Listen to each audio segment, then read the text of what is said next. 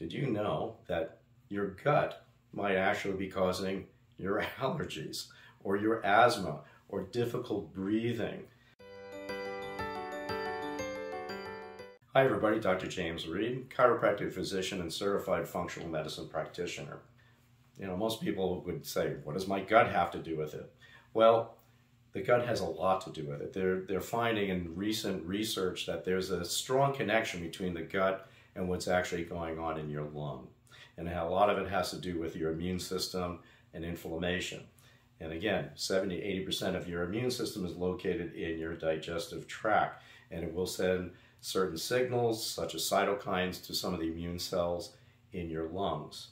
So, if you're interested in finding out more about this connection between the gut and the lung, you can go ahead and uh, call my office at 480 732 0911. And one of my staff members will be happy to help you. Or you can also go to our website at azfamilyhealthcentre.com for more information. Thanks for watching.